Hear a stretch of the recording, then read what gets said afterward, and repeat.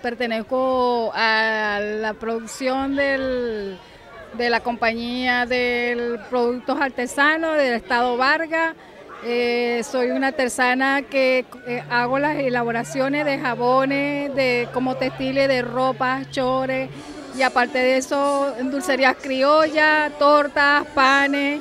Y bueno, aquí estamos en la revolución que nos dejó nuestro presidente, primeramente Chávez, y ahora con nuestro presidente Nicolás Maduro. Y bueno, y en estas jornadas colaborando, que la ha puesto el gobernador José Luis Carnerio y colaborando siempre con el pueblo para llevarle los productos a cada pueblo lo más económico que se pueda. Los precios los tenemos bastante accesibles. Nuevas prendas ahorita las tenemos en 4 mil bolívares, tenemos los jabones artesanales, tanto como para lavar como para bañarse. Panadería, pastelería Dulces Jocelyn del Estado Vargas. Yo me encuentro en, ubicada en Carayaca. Somos un movimiento de panaderos. Nos encontramos trabajando en todo el Estado Vargas. Específicamente nosotros somos la ruta del pan.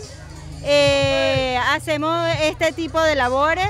Vamos a los sitios donde no hay panaderías artesanales, a pesar de que vemos en el estado más de 189 panaderías.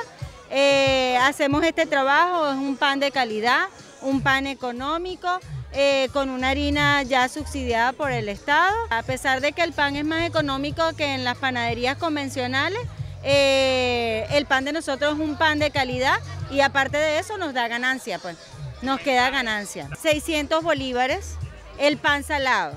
Y tenemos panes rellenos de guayaba, panes familiares, eh, desde 500 bolívares hasta 1500 bolívares. Fortalezcanse, agrúpense, es posible eh, emprender un negocio propio como las panaderías, como la parte de la artesanía.